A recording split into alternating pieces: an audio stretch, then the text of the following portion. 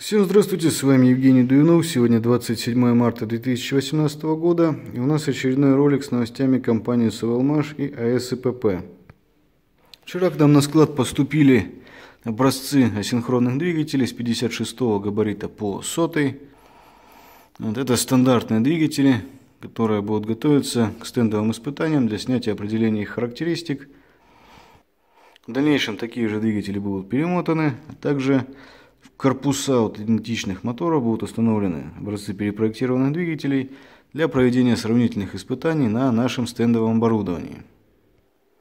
Всего здесь двигателей, если не изменяет память, должно быть 37. И весят они около полутонны. Это вот мелочевка, стандартные классические асинхронные. Также сегодня получили набор инструментов, который предназначен для нашей центральной заводской лаборатории – так как мне придется выполнять достаточно большое количество работ по монтажу-демонтажу двигателей на стенд, а также установке различной оснастки, оборудования, необходимых для проведения испытаний. Поэтому требуется достаточно широкий спектр различных инструментов. Посмотрим, что находится внутри этого чемоданчика от фирмы Inforce. А внутри мы видим набор отверток и бит для различных случаев жизни.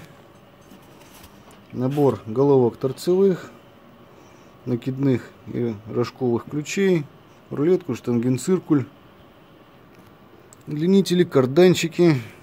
Теперь пускаем этот держатель. И здесь видим пассатижи, кусачки, клещи, съемники стопорных колец, шестигранники, разводной ключ, пилу, молоток. В общем, полный комплект инструментов для того, чтобы проводить различные работы в широком спектре. Также продолжаются сборочные работы на участке лаборатории. Сегодня был установлен коммутационный шкаф. Электрики пока ушли на обед. Продолжают заниматься, продолжат заниматься монтажом после возвращения и как это все выглядит внутри. Можете оценить качество работы. Автоматы, разводка. Здесь с этой стороны относительно слаботочные розетки. С этой стороны сильно точные. Также к нам поступил и был уже частично собран трансформатор 380-36 вольт для проведения опыта холостого хода испытания мотор колес и иных низковольтных двигателей.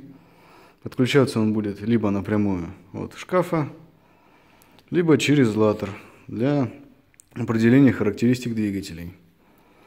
Сегодня работы монтажные, наладочные в лаборатории продолжатся. Надеюсь, скоро нам уже удастся провести первое испытание. Там на потолке уже можно видеть заведена силовая часть, лабораторию. Ее завершат монтировать. И уже скоро можно будет, надеюсь, приступать к испытанию стандартных асинхронных двигателей. Когда придет оснастка и комплектация, уже и мотор колес 318 и 186 габарита. Так что следите за нашими новостями. До встречи в следующих видеороликах.